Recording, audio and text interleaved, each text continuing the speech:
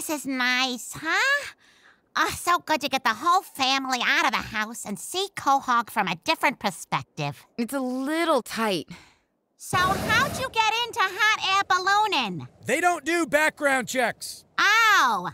What are we flying over now?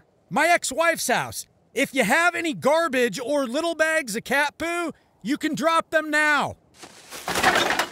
Did you know restraining orders only go side to side? They don't go up and down.